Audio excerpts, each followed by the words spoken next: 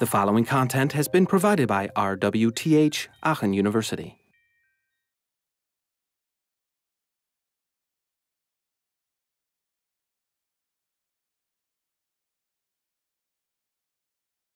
Mappings.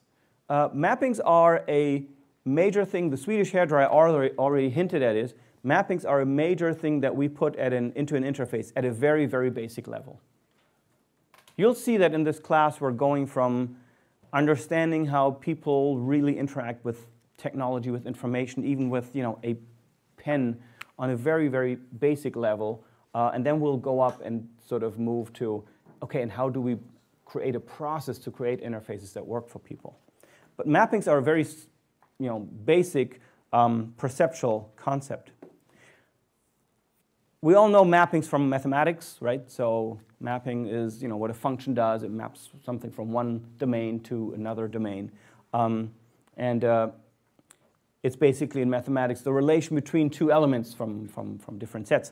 Uh, so for us as interface designers, um, it's something very related. It's essentially the relation between, if you take an input control, some kind of you know, button slider whatever, uh, it's the relation between what I get to do physically with the input control, move it up and down or sideways or whatever, and what the effect of operating that control is in the application, you know, or in the real world if, it, if I'm controlling a real world process. So you know, you, you turn your steering wheel in one way and the car turns right. That would be a mapping between the turning direction of the steering wheel and the way that the car turns. Um, and here are some examples. Uh, this, this light switch here, for example, uh, takes an input, you know, it's either in the bottom or top position, flick down or up, and that maps to whether a light is on or off. Um, but a little bit more complicated, uh, you know, this joystick will have all kinds of physical directions that I can move it and all kinds of buttons that I can press in and out. Um, and that will, again, lead to some effects in the application in the game that I'm, I'm playing. But it also works in the input direction. And that might be a little less obvious. Uh, but again, if you take a, for example, uh, a thermometer, a thermometer takes a real world measurement, you know, temperature, and maps that to a way of displaying that. So for example, you know, the thermometer, this, in a classic one, this, this, this thing goes up um, as, you know, as the temperature increases. Or this one here, you know, a simple two-channel volume meter um, would display the left volume here and the right volume here, and as, as the volume on each channel goes up, the, this bar moves over to the right, and it also might, you know, enter different color zones. Now, why are these uh, things interesting? Um, because what happens when we explore an interface, a system, an object, really anything we need to interact with, uh, we develop conceptual models, we know that already, and uh, we develop these conceptual models in order to remember the mapping. So that means you interact with something, you do something, it, it has an effect, and then you start building a model to remember, okay, so when I do this to this control, that's what's going to happen. Um, and here's a great example of a mapping that seems odd if you think about it, but it actually kind of makes sense in the end. Um, I talked earlier about the steering wheel, right? So let's first look at the, the indicators here. Now, the indicators in a car, blinker, right, um, are controlled by flicking that switch up and down, right? Is that a natural mapping to the left and the right indicator light going off? What is the conceptual model that you create in your head? Yes. How do you remember that? So, yes and, uh, okay, yes, why? you move the steering wheel in that direction, right? So, as you make a right turn, uh, you turn the steering wheel in that direction, and you basically just have to hold your finger out, and the, you know, the indicator switch will flip up or down as you turn the wheel. So, it's in that direction, it's easy. Yes?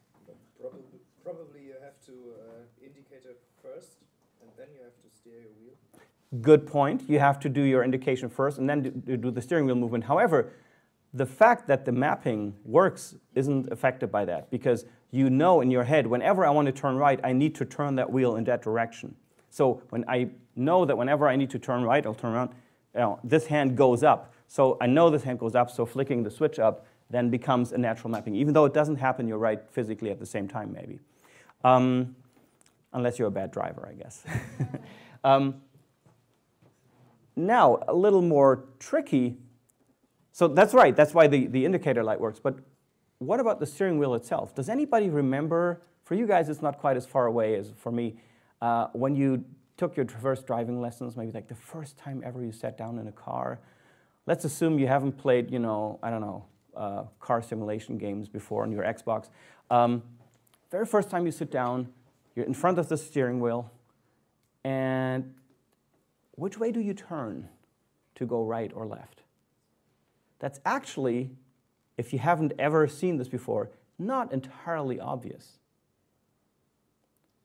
Is there a way to explain why the mapping, I know this is strange to think about because by now everybody knows how to turn, right?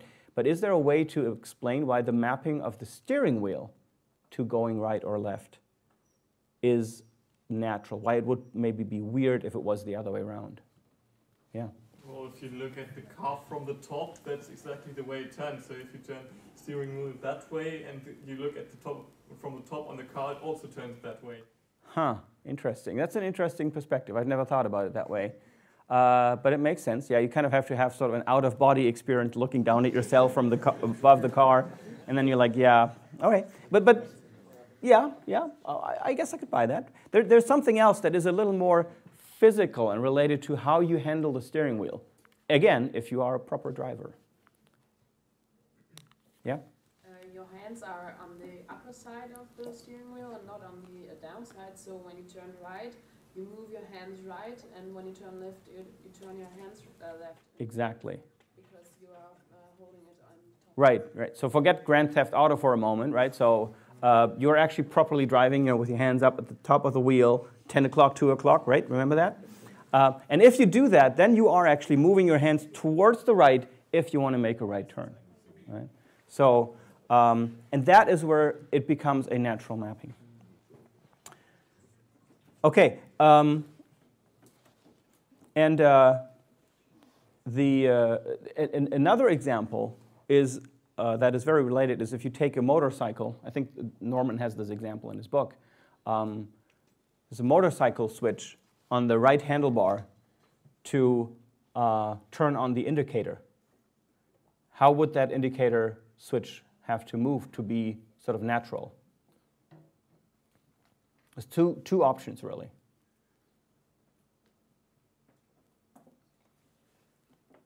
Yeah? What do you think? Uh, move it up to indicate uh, a turn. Mm-hmm. So I'm, I'm trying to go left, so my right hand goes kind of forward. So in that direction, if I had a switch that would also move in that direction, that's actually how a lot of these indicator switches work. You flick the switch forward or upwards or something in that direction, um, and that is then also basically a movement that your arm is doing anyway, your hand is doing anyway because you're making a left turn. Um, and uh, Norman has this little story in his book. He says, like, uh, you know, friend was saying, I could never remember how that thing was mapped until somebody explained to me that this is, this is the conceptual mapping. You know, this is the mapping that I should be thinking about, the conceptual model I should be thinking about. And ever since they explained that to me, there was no way of forgetting it again. Right? Very easy to remember. This will lead to something very important, um, on how much we can remember based on you know, whether it's logically explained or whether it's just random unconnected facts. So um, mappings are basically how an, a control influences the real world or how a real world value is represented in a display. They can be good or bad in the sense that they can be natural, um, reflecting a mapping that makes immediate sense to me, or they can be sort of artificial, random, arbitrary, in which case I always have to remember them again. Um, and there are different ways of making mappings natural. The easiest one we've already talked about here at length, which is, yes, go ahead. Uh, I have a question yeah. regarding what you just said. Uh, it's the pedals in a car. Yes. I wouldn't say this is natural, but I don't think you have to uh, think hard about it either. So if you learn it one time, you uh, yeah you remember. You remember. Thinking. Pedals on a car are a good example. Uh, yeah, I don't think there. I mean, the, the the the gas pedal maybe, you know, the accelerator pedal, uh, where you know the more you step on it, the more you move it forward, the faster you go forward. So you could say there is a mapping between the forward position of that thing and that's sort of the and the, its first derivative, which is the speed at which you're moving forward. So that kind of maybe works. Um, with the brakes, much harder. Yeah, doesn't really make obvious sense. I think what most of us are creating in our heads is probably a model of, as I push down these brakes, I'm pushing some kind of, you know, brake onto a wheel, and that sort of stops it. And the harder I push, the the the stronger the the braking gets. So I guess the mapping inside the pedals themselves kind of makes sense. Um, but you know that gas is on the right and and you know your clutch is on the left. Yeah, that's really hard to remember. Um, there's not really much you can say about like that being a natural mapping or anything. And if anybody ever driven a uh, uh, an automatic, yeah, okay, and you know both like stick shift and automatic go drives you crazy. It's wonderful to observe how uh, our brain gets messed up with these things. I remember when I drove my first automatic in the U.S. Um, I was perfectly fine while I was like you know tuttering out of the uh, parking lot from the rental car company because my brain was like on hyper speed and like making sure that I don't make a mistake. Like, okay, this is, don't use your left foot, don't use left. And, and then once you relax and you start driving down the, the highway and you want to basically just, uh, I don't know, like turn off to an exit, uh, what do you typically do? Well, you jam on your clutch and you switch down to, you know, from fifth to fourth gear. So what you do instead is you jam on the brake and everybody in the car goes like this. Um, and that's where you notice, oh, okay, you know, my brain hasn't really processed this yet. There's still an automatic um, an, an, autopilot at work that is using the old mapping that I had stored in my, my head for years. So don't blame yourself. You know, it's all about the mappings in those cases. Um, so those are spatial analogies. You know, something moves in one direction. The effect is also in the same direction in the world. That's very easy. Um, there are other analogies, perceptual analogies. We'll get into those uh, in, a, in a moment. Um, you know, like, for example, grouping related controls together you know, taking Gestalt laws, for example, to make mappings. Those are also easy to, um, to apply. And then there's finally biological cultural analogies. We'll, we'll get to some examples of those. Um, the big point about these natural mappings is that you remember them without having to think about it, right? You, you'll, you'll just immediately get them. Um, and if you don't understand them at first, you will understand them and remember them once somebody explains them to you. Like, you know, the, the, the, you know, the, the motorbike um, indicator switch. That makes them easy to understand, easy to remember, and that increases the ease of use of a system. Right? So that's why it's very good to use natural mapping. And it's amazing. All you need to go is go to MediaMarkt, you know, or Saturn or one of those tech markets, and look at all the alarm clocks they're selling. You'll go nuts. It's amazing how designers continuously ignore these basic rules, right? Because it saves, I don't know, 0.1 cents in, in parts to use a two, you know, ident- or 10 identical buttons for all the functions on an alarm clock, rather than making them somewhat stand out so that when I'm like half asleep, I can find the right button.